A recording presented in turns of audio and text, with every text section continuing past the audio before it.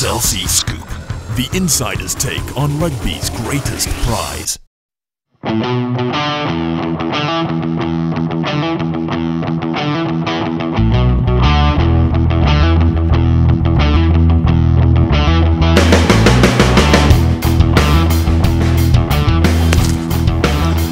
Hi guys, Phil Greening here. Just here in my kitchen in sunny London, and it's been a lovely day, and it's been even funnier reading the papers. There's uh, Mike Tindall, the new Raw member of the family, and the boys were on the booze after uh, after their game against Argentina. They're in some bar in, in Queenstown, wrestling dwarfs. There's pictures of Steve Thompson and Dan Cole scrummaging down with these dwarfs. There's Ashton being caught being beaten up by these dwarves in, in headlocks, and uh, it's been comedy value, but there's been no comedy, uh, you know, with especially after that performance uh, against Argentina, you know, what are the boys doing going out and celebrating after a performance like that? This is the World Cup, this is the world stage. You know, you're going to be pictured on cameras, even if you're going to go out for a couple of beers. Obviously, I think it's probably been blown out of all proportion, but these photos are funny. And I just wish I'm on that plane a lot sooner so I can have a few beers with the lads. Um, but, you know, all joking apart, that performance against Argentina, you know, the attack was abysmal. I think we're one dimensional, really easy to read. There's no creativity, there's no spark, very laboured. And, uh, you know, I'm hoping we can turn things around. I'm hoping this weekend, you know, with uh, the game against Georgia and hopefully, you know, the changes that John is going to bring in, because um, this big game now is coming out is going to be Scotland. You know, we all know that. So we've got to hit the ground running, and he's got to know his starting 15. I think he'll bring in Flood. I think Toby will uh, add a bit more an attacking flair and, and, probably play off the cuff a little bit more. Um, you know, Johnny's going to be hurting. You know, those kicks is not like him. Again, you know what what he missed against Argentina. He would have been suicidal last night. Um, you know, that night after the game, and uh, he, he'd have been training non-stop. I think you know he'll be back, and we need him back, but we need England far in, in a proper way and a proper way to attack. And I think we've got to be more creative than we have been. I think that will come.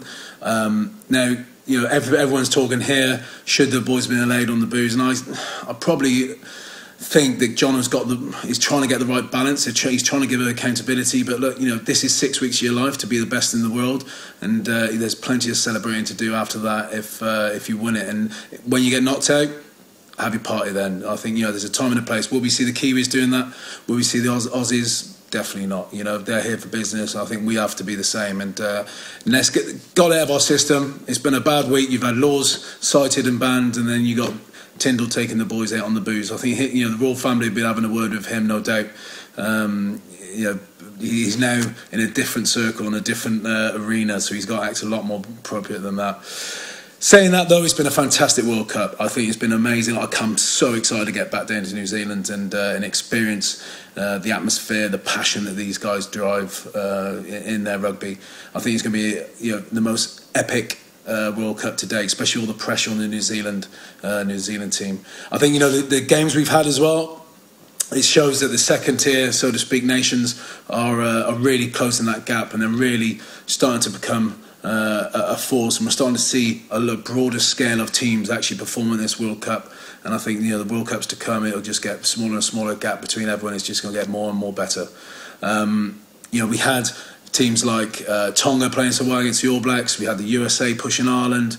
You know, all this Samoa, you know, being tipped to be uh, you know an outsider in this World Cup. It's starting to really flourish now, and the rugby's getting a global stage. And, and with today, with Russia announcing they're going to take the Rugby World Cup sevens to Moscow uh, in 2013, I think that is going to really start to explode uh, on the world circuit. So back to the World Cup. I think though, you know, England's got Georgia. They've got to turn it around. As I said, you know, there'll be a few changes. Hopefully, a bit more of a spark.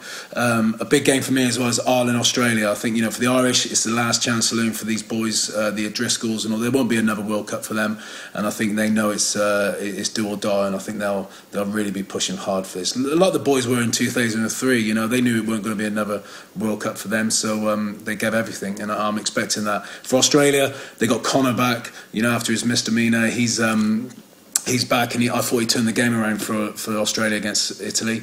Really added a spark. They've got Drew Mitchell, who's a top lad. I'm so glad that he's come through that injury and now made the bench. Um, so they're starting to get their firepower back, which which you know is going to be frightening some teams. And um, you know they're my tip for the final. To be fair, now will they topple New Zealand in that final? I'm not sure, but uh, you know, for me, I'd like to see that, but let's see what happens uh, along the way. I'm sure there's a lot of English fans and South Africans who, who's going to be, uh, you know, fighting that their team's going to upset everyone. They then got, um, you know, go, going into the with the New Zealanders, they got Japan. I think that's just another step for the Jap, Jap, uh, against the Japanese. Uh, the Japanese have really shown some character in this World Cup, and they, they will continue to do so. But it's just another step for New Zealand, uh, and I'm sure they'll they might rest some players. Richie McCaw might get his hundredth cap if he comes through on, on his uh, on his injury. And uh, you know what an achievement, what a servant for the All Blacks to have a guy who do hundred caps like that, and what a player. I mean, he's mad as well. You know, he plays. I mean, he plays the bagpipes. I know he's an open side, and you're supposed to be a little bit mad, but how do you start playing the bagpipes? It's just bonkers. And uh, but what a guy, and uh, absolute top bloke. And, and I'm so glad that he's going to make his hundredth cap, hopefully this weekend. Um, another big game, Wales Samoa. Samoa, as I said, tipped to be the outsiders to push teams, and they certainly are doing that. They've turned a lot of things around. They've got some fantastic skilled players. They've now got a, a performance department in uh, in Samoa, which is now getting you know to grips of everything and really become more professional. Wales so unlucky against South Africa. They really pushed them hard. I think Gatland's really starting to get a team there that's got some a lot of spirit and some young guns who are not scared of, of these big teams. And uh, you know that I think that game's going to be going to be the guys who go through in second place, and um, it, it's going to be a massive game, a massive game this weekend. Um, talking about second place, you got France, Canada. I think you know the Canadians beating Tonga. I think that was a massive scalp for them, and it just shows again, you know, these teams are really coming through. France, you don't know who's going to turn up, and uh, you know, so who knows with them. Um, but again, this that could be a fight for the um, for the second place, and uh, you know that group's really tough. And I think with Fiji as well against South Africa, are we going to get another epic 2007 game? I hope so. I really do hope so, and. Uh, you know, it's going to be a fantastic weekend of rugby, and I'm so glad about this World Cup's really kicked off. I can't wait to get down there. I can't wait to you know to give you guys another insight um, in in the next video blog uh, on the World Cup, and hopefully I'll start getting a bit of uh, a bit of rumours and a bit of uh, inside knowledge of what's happening down there, and share it all with you guys as well.